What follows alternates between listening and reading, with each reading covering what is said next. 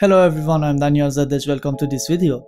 Finally, it's time to play The Last of Us Part 2. I assure you that this video don't have any spoil about the gameplay or the story and I'm gonna show you how to use brand new controller settings in The Last of Us Part 2 to make your adventure even more astonishing. So without any further ado, let's begin.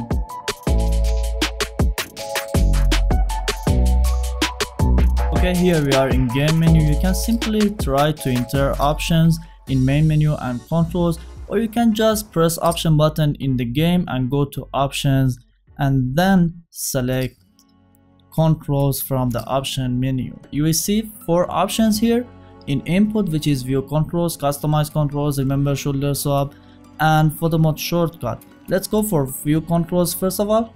You will see it says view currently selected control schemes. It means it's gonna show you whatever you're using right now you can customize your controls from here directly by pressing X button or you can get back and try to enter customize controls and change them from here. You will see some default settings here right hand only and left hand only on custom scheme 1, 2 and 3. I'm gonna try for custom scheme 1 you can rename your scheme from this menu by by pressing X button on rename custom scheme. I'm gonna name it aim and shoot.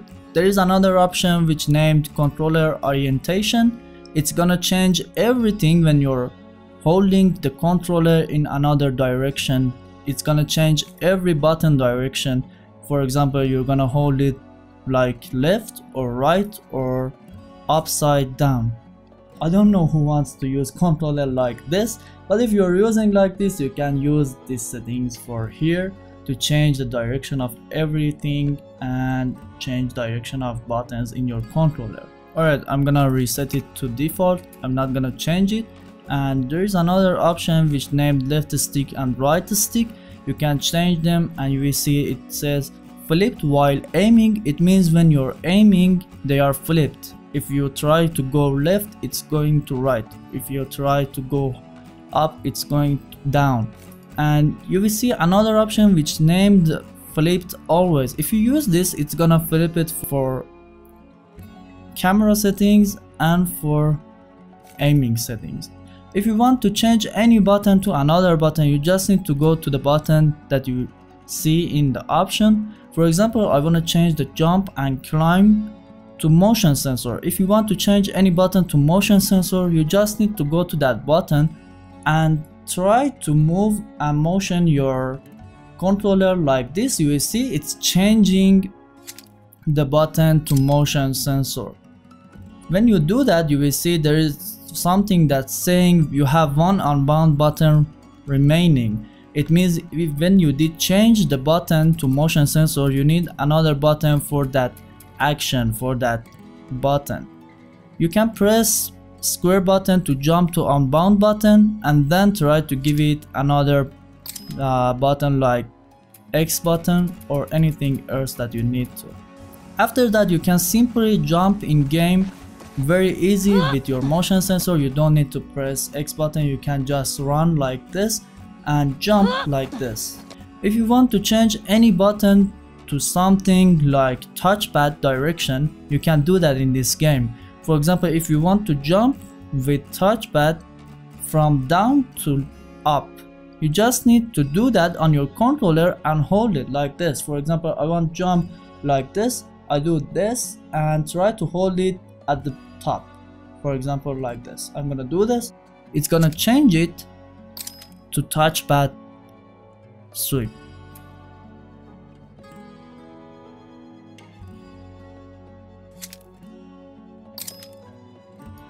If you want to reset the buttons in your scheme, you can press arrange button and say yes. It's gonna reset it to default setting.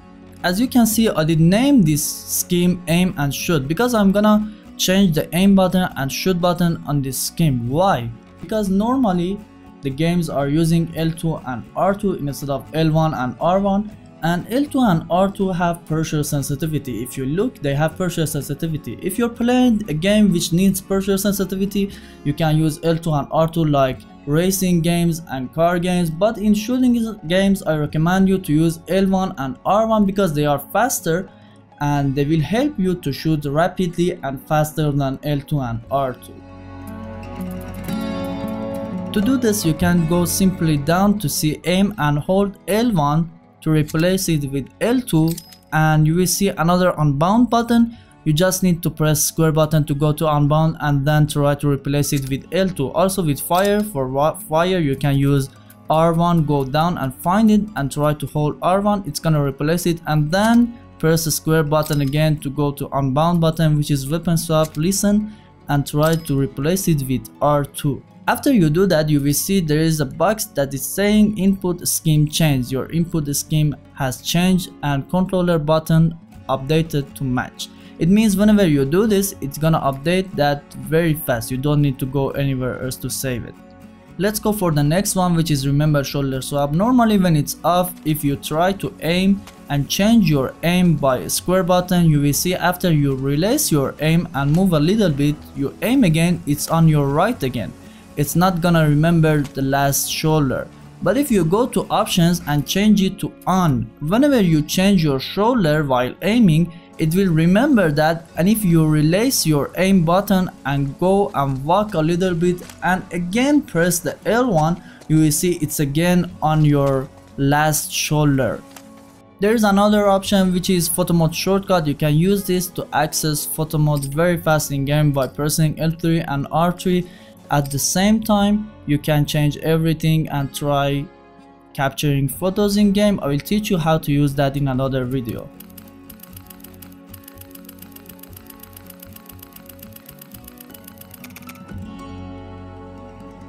So this is it my friend, that's how you can customize your controller settings in The Last of Us Part 2. You can use motion sensors or touchpad for any action. Thank you very much for watching. If you did like this video, give it a like. And if you'd like to learn more about the games, make sure that you subscribe my channel so you won't miss other tips and tricks about the games. Thank you very much for watching again. See you next time.